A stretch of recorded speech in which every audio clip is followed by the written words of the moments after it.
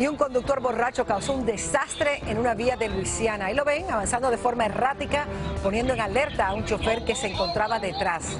Así condujo varias millas hasta que terminó estrellándose contra la parte trasera nada menos que de una patrulla. El chofer fue detenido por conducir ebrio y se le suspendió la licencia. Yo nunca le he llevado flores a una mujer.